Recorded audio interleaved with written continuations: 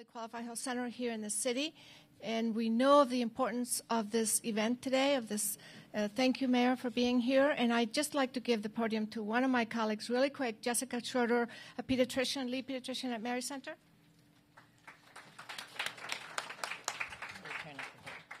Hi, I'm Dr. Schroeder, and I have been lucky enough to be here for the past 15 years as one of the pediatricians.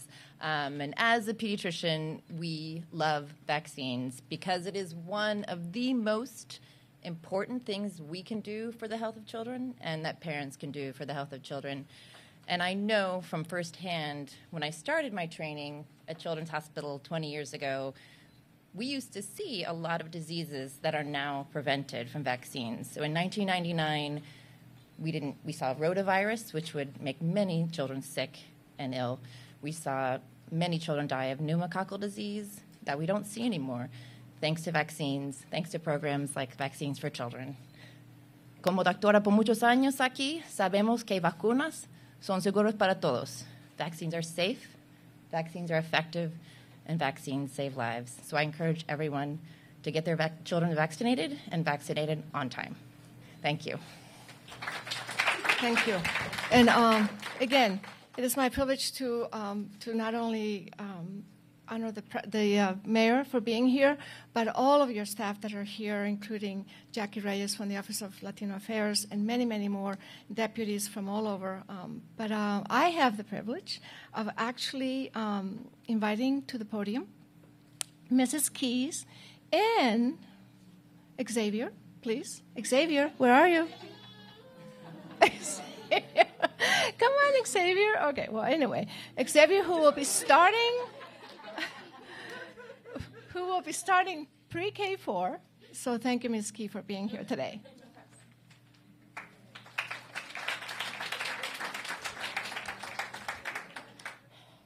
Good morning, everyone. I am Charmaine Keys, a native Washingtonian from Ward 8, and a proud mother to my energetic four year old son, Xavier. This morning, I have the privilege of introducing the mayor of our great city, Mayor Muriel Bowser. Mayor Bowser has cons- consistently been a champion for children in all eight wards. From launching the Thrive by Five initiative, which connected families like mine to maternal and infant health resources, to also providing tax credits in the amount of 12.5 million to make childcare more affordable for families just trying to get by. Mayor Bowser has invested in our children, the future leaders of our city. This fall, my son Xavier will start pre-K 4 program at a local charter school in DC with all of his immunizations up to date because of the commitment Mayor Bowser has made to investing in our children. Marian Wright Edelman once said, Investing in children is not a national luxury or a national choice, it is a national necessity. Thank you, Mayor Bowser, for recognizing our children as an investment in our future. And as a fellow mother, I thank you for your commitment to their growth, development, and success. I now present Mayor Muriel Bowser.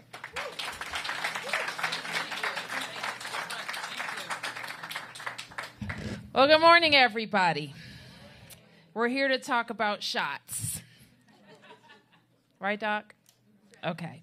And it's a it's an important conversation to have, and I want to thank Xavier and his mom uh, for being here, representing three and four year olds and children all over the District of Columbia, uh, who love this time of year because they get to be at home, they get to be at camp, they get to stay up late, they get to eat all their favorite cereals in the morning, and all of that good stuff. Uh, but it is also a time um, when many of us are focused on them getting a good start uh, to the school year. Uh, and we are joining Maria. And I want to thank Maria Gomez and her outstanding team at the Mary Center. Uh, I love coming to the Mary Center um, because I remember when you opened your doors here in Ward 4 on Georgia Avenue, uh, and what a resource you have been uh, for so many families who come right to the center and know that they are going to get quality care. Uh, and you are just a key, um, a key uh, point uh, for so many people and the connections that they have made to Mary Center over the years. So uh, let's hear it from Maria Gomez.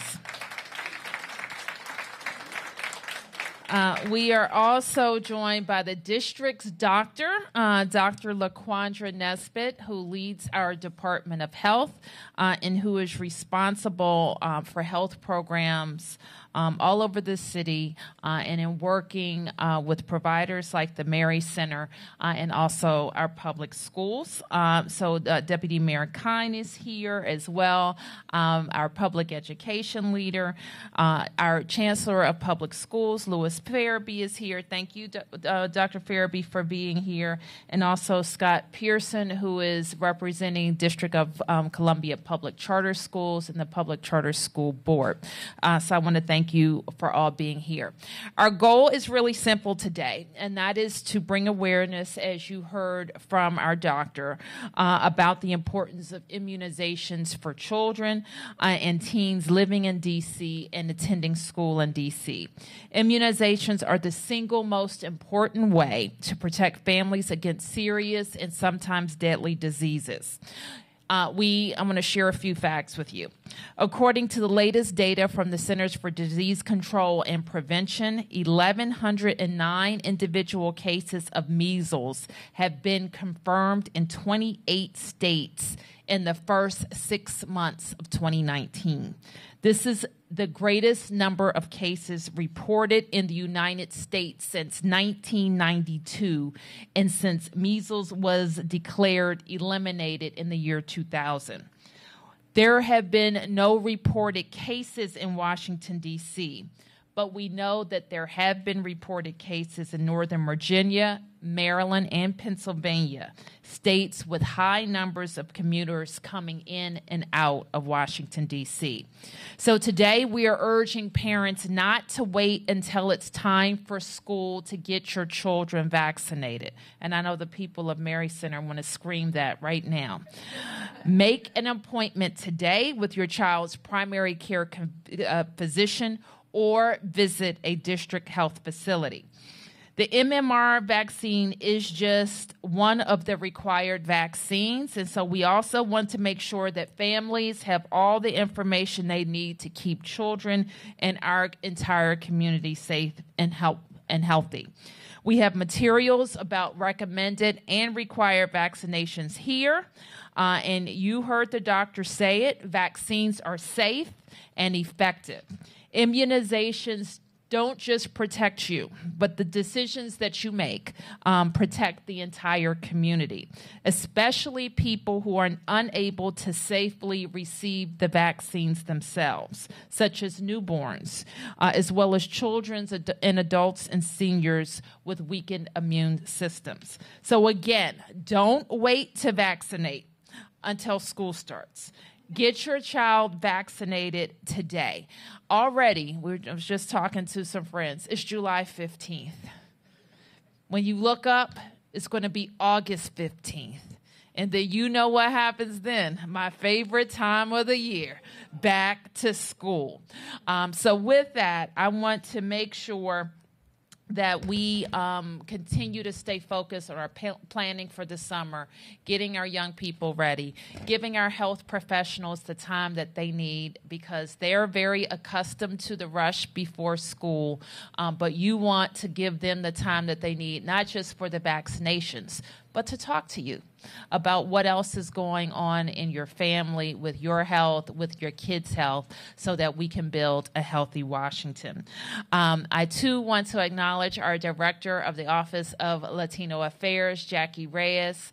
Uh, and uh, Jackie is representative of a number of our community affairs offices who are out in the community uh, each and every day helping to spread this word among many uh, other issues as well. Uh, and I especially want to pause for a second and, and talk about the community that Jackie helps us communicate with each and every day um, and assure them uh, that when they come into our facilities, when they come to facilities like Mary Center, we don't care about immigration status. We want children to get all of the health care um, that they need and deserve, and that your local government works for you, not for ICE. So please help me spread that word. I also want to acknowledge Faith Gibson Hubbard, who's new uh, to my cabinet, uh, who is the executive director of our Thrive by Five program. Uh, and Faith's entire job is to look across all the agencies of DC government to make sure we have well women and babies, um, well women and babies, and make sure we're making those investments so that we are not only having healthy and thriving young people, but when they show up at school, they're ready to learn. Uh, so, with that, let me turn to our doctor, uh, Dr. LaQuandra Nesbitt.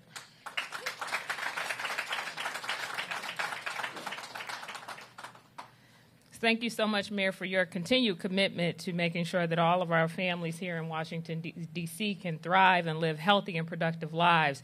I thank you all for being here today. Uh, just the sheer number of people in this room shows the commitment to this issue and a commitment to continuing to understand why having a population that is immunized and protected from vaccine preventable illnesses is critically important.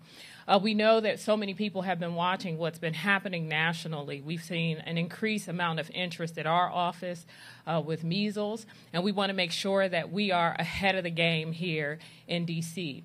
Uh, places like Mary Center, the federally qualified health centers, all of our healthcare providers are part of what we do in the district called preparedness. Uh, some people are familiar with our preparedness efforts because we get ready for the 4th of July. Uh, we'll be doing something later this week called Capital Fortitude to be prepared that if something like anthrax were to come to our city, and people are very familiar with us being prepared for hurricanes.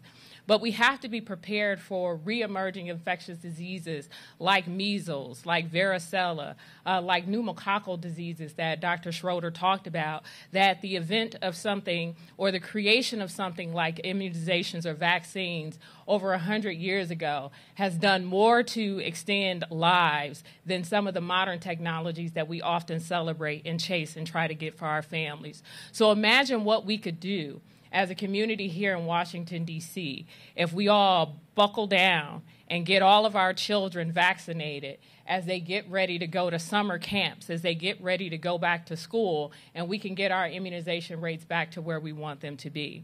It's critically important for us at, the, at DC Health that we spread this message and that people understand why we're talking about this so much. The mayor has mentioned that there have been no cases of measles in particular, which is the national discussion here in Washington, D.C., but there have been in Northern Virginia and there have been in Maryland.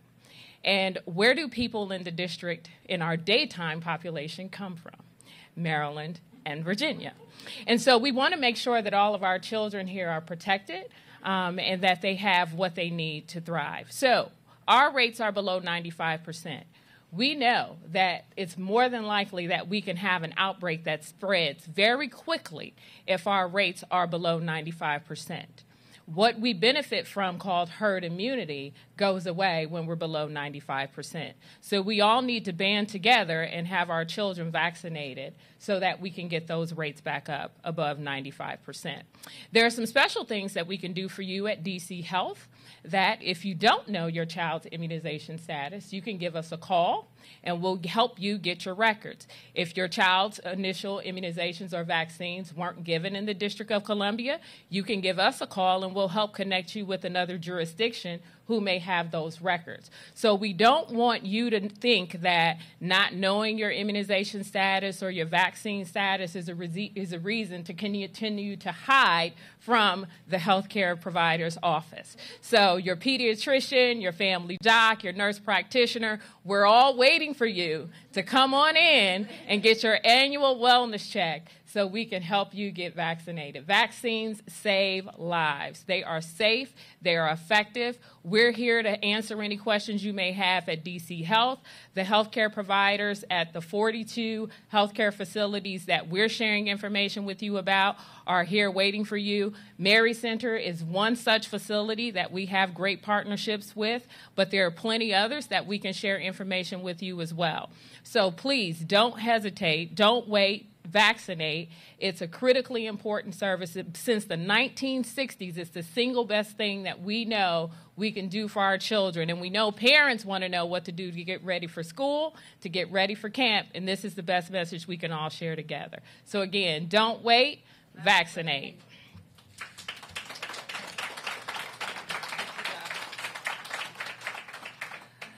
And I'm going to ask Deputy Mayor Kihn to join us at the podium to talk public schools.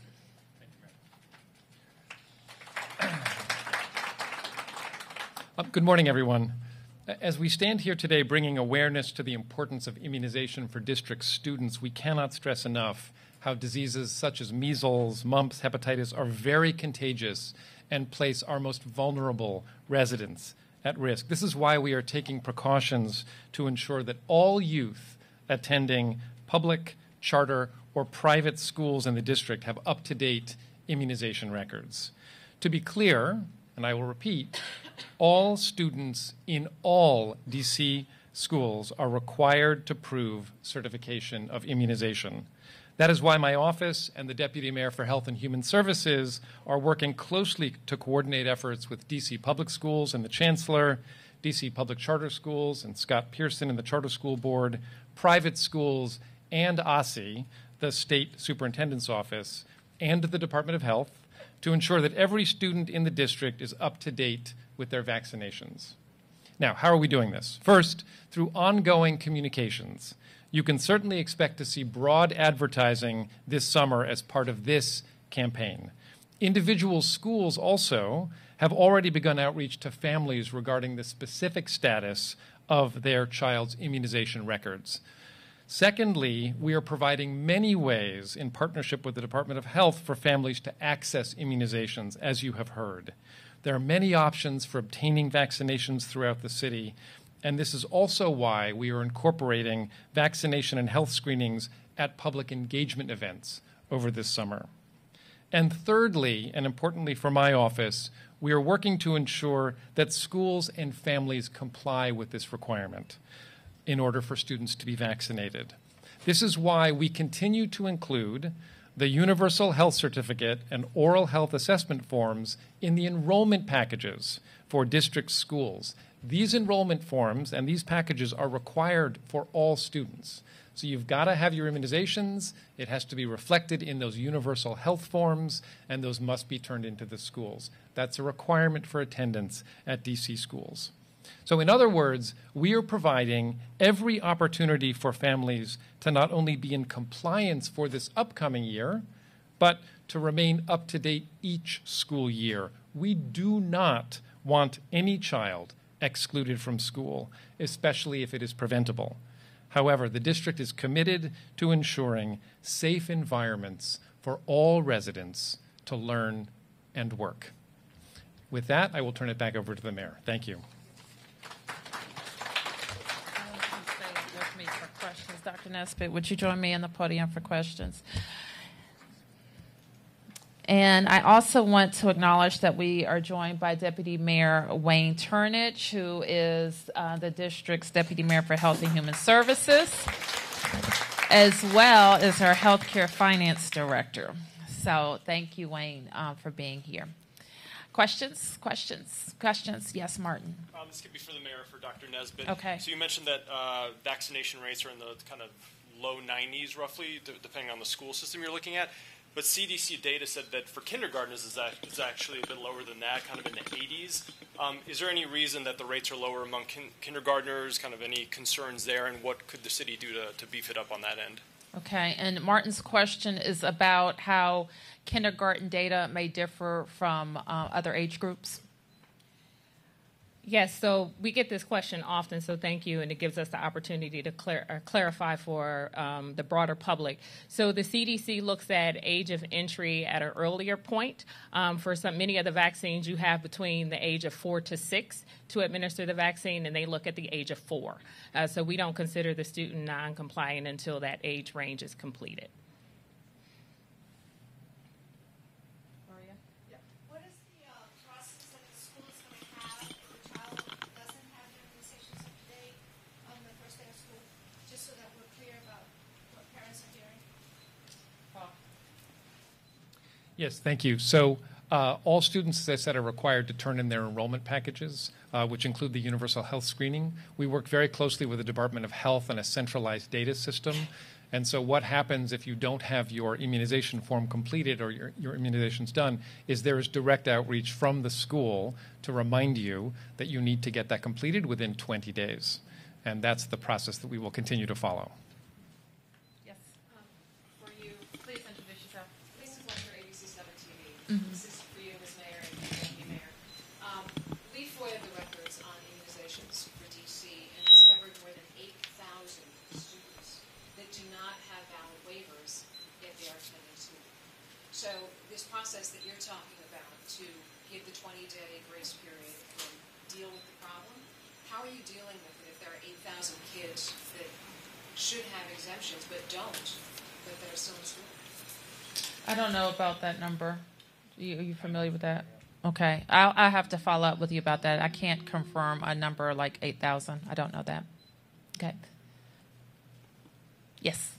Uh, I don't know if this is possible, but I was just wondering if maybe we can send a quick message to the community in Spanish, you know, about how important it is for them to.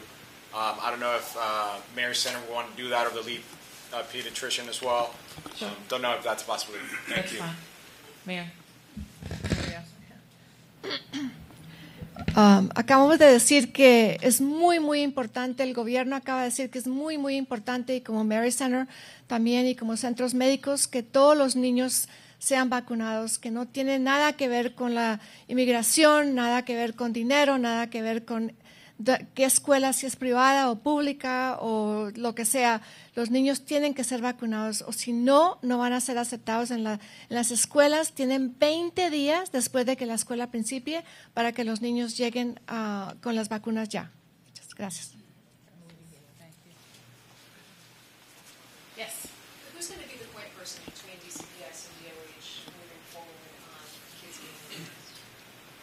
Um, you heard the deputy mayor talk about the, the deputy mayor's office for education and for health and human services. So the deputy mayor's office would be handling that? Yes, both. So in terms of compliance, it would go to the deputy mayor's office as well? Questions about compliance, you can send to the, go to the deputy mayor's office. Yes. Yes. Mayor, can you take uh, two questions off topic? Yes, sir. Uh, your letter to President Trump asking to replenish the security fund. Uh, number one, have you received any response yet? I don't think so, I, I- but I will double check with my team today, but not as of Friday. Okay. Secondly, I did hear back when I did the story last week, I heard on background from a White House official saying that the money should have been covered in the fiscal year 18 overage. Uh, that it should have been covered, the $7 million should have been covered from the fiscal year uh, 18 budget, and that you didn't ask the president in the 19 or 20 budgets for that $7 million. Uh, we asked for it certainly. Um, the the inauguration was in January of 2017, uh, and in the federal request that followed, uh, we followed with um, the White House. Uh, anything that now needs to happen that's not covered in the president's proposal, uh, we're going to seek from our congressional appropriators. So basically, what this official is saying is tough luck. They won't have the last word. I think you know the president makes a proposal and the Congress um, has the power of the purse. And we, our congresswoman with uh, one of the senators from Maryland, uh, has produced a bill to make sure not only that that security fund uh, is where it should be, um, but that we are preparing for um, the next inauguration. All right, if I could follow up. on the- Uh, if I can follow up on the uh, sports betting contract, uh, it's very controversial, but it's passed the city council now. Your reaction to it passing, and do you believe there's a cloud over it now with Jack Evans' ethics issues? Um, I believe that not only did the CFO's office, but the council went through an extensive review. Um, I haven't gotten it um, yet, but I expect to sign it into law. Do you have any comment about possibly being a cloud over the contract now with Jack Evans' ethics troubles? Well, the CFO, uh, as you know, is responsible for the implementation of the lottery. And um, the policy decision was to connect sports betting with the lottery. And uh, I have great confidence in the CFO's recommendation. Yes. Just real quick, back on vaccines. If you could talk about, the, I mean, the non-compliance rates are a little bit higher in private and parochial schools. What I mean, does the district have any control over what students are getting vaccinated there? Kind of have have there been cases in those schools where parents have said, "Listen, I have religious objections, or I have kind of other objections to vaccines, so I don't want to get them." Can you just address that, Sure. please? I'm going to ask Paul if he can speak on behalf of how those reports are made. And when I introduced him, I neglected to say that our laws uh, apply to our independent schools as well. Yes, so it is our, our full expectation, obviously, that private school students comply with the immunization requirements as well. Uh, our Office of State Education, according to law, has primary responsibility for the public schools, both DCPS and charter schools. And in addition, we coordinate closely with independent private schools to ensure that they continue to meet the compliance rates as well. So we do similar things there as we do with the public schools, meaning we let them know what we understand their compliance rates to be, and we work with them individually to ensure compliance with this law. And we will continue and expand our outreach efforts to individual private schools this summer also. Okay, so I think um, we're going to follow um, Maria and see how vaccinations are given. Okay, thank you, everybody.